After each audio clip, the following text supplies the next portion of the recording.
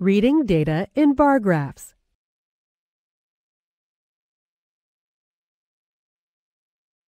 This graph shows the number of minutes it rained during the last week. The days of the week are labeled horizontally, and the counts are labeled vertically. We want to answer a few questions based on the information in this graph. On which day of last week did it rain for the longest time?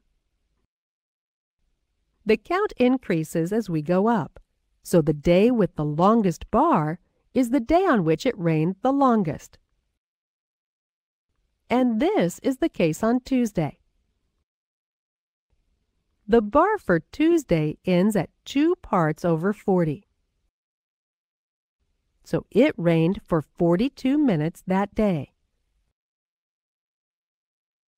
How many fewer minutes it rained on Tuesday than on Monday and Wednesday combined.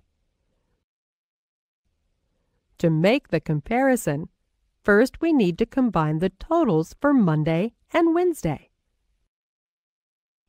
According to the graph, it rained for 25 minutes on Monday and 30 minutes on Wednesday. So their combined total is 55 minutes.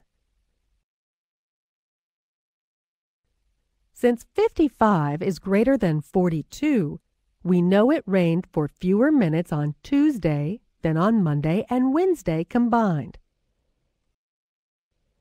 But how many fewer minutes?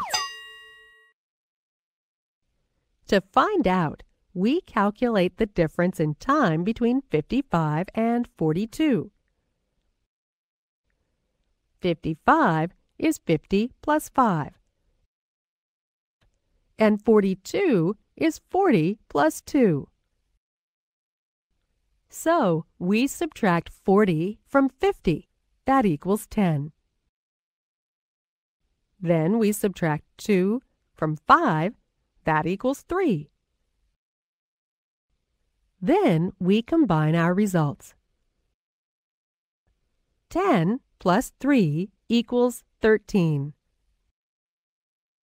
Now we can say that it rained for 13 fewer minutes on Tuesday than on Monday and Wednesday combined.